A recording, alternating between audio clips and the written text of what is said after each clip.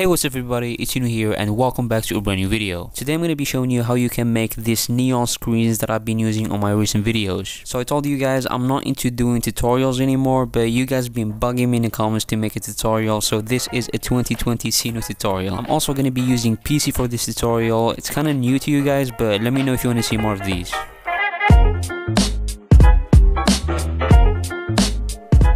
This is Adobe After Effects CC. It's the software that I use to make pretty much all of my intros, outros, and little animations that you see on my YouTube videos. For the neon sign screen, I like to use this very dark brick wall as my background, and I just let it play for the whole video. So to make the text, you need the text tool. Click anywhere on the screen to insert the text. I'm just gonna type in Cinou is here, and by the way, this font is gonna be down in description below if you want to download it. I'm just gonna put it somewhere in the middle. So what I like to do is to press on the text layer, and if you hit T on your keyboard it's gonna bring up the opacity settings. I like to bring up the opacity on the text all the way down to 20% usually that's a really good spot. So what that does it makes the text 20% visible which helps to sell the illusion that the neon sign is off. Under effects and presets I'm gonna search in Saber and this is a third-party plugin which means it doesn't come with your After Effects by default. You need to download it so I'm gonna leave a link in the description below. So if you don't have Saber download it from the description below. So we can't apply this effect directly to the text, we need to apply it into a solid.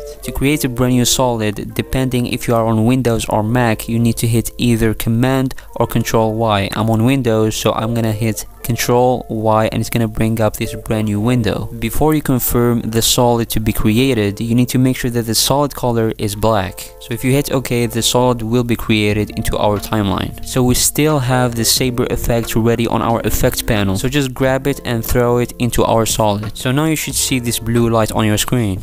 So you should go to your layer, to your solid layer and under mode you should see this normal. If you press on it, it's gonna pop up this long list. This is the blending options and the one that we should be using is add. After you press on add, you should see the text in the background. So now how do we shape this light to make it fit above our text? Well, it's pretty easy. All you have to do is to go to the effects control. You're gonna wanna find this customize control panel, extend it, go to core type and change it into text layer layer and then we need to tell it to apply this effect to our text which is Cinou is here if you press on it as you can see the light is following the text shape. However, there is a problem. The light is really bright. We can't even read the text. We can easily make it less brighter using these parameters. But first thing, I just want to change the preset. So if you press on preset, it's gonna pop this really long list. Somewhere in the bottom, you're gonna find neon, which is what we're going for. As you can see, now it kinda looks like a neon. To change the brightness, all you have to do is to go to glow intensity and reduce it. It depends on your composite but I usually go for 40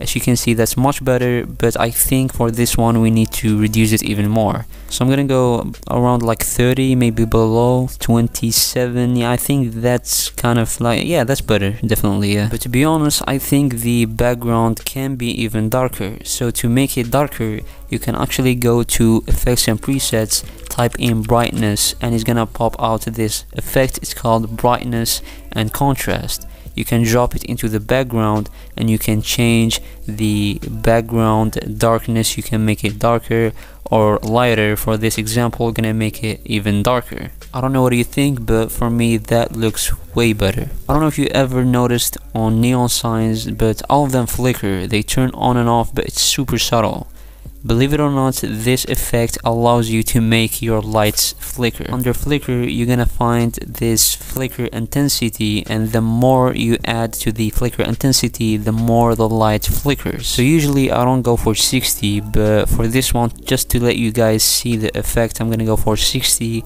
and if you play it, you can see that subtle flicker and that helps the neon sign to look more realistic. Now can I make this on Photoshop? Well of course I can make it on Photoshop but why I like to do it on After Effects is because After Effects allows you to animate it, it allows you to bring it up to life. If we go back to the effects control we can see this start offset settings and if you play around with the value you can see what that does to the text so let's go to around one second on our video and then let's go to the start offset and press on that stopwatch that creates a keyframe on our timeline Now let's go back to the beginning of our video and go back to the start offset parameter and then bump up that value up to 100. Now if you play the video, as you can see, that creates this effect. Now just let me make the animation a bit longer, maybe even longer than that and as you can see this is the effect that I always use on my neon signs. It's pretty sweet. And this is what I meant. You can bring up your neon sign to life using After Effects. Okay let me show you something really cool.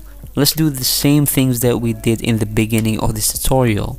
Create a brand new solid. Make sure it's black. Then apply a saber effect to that solid.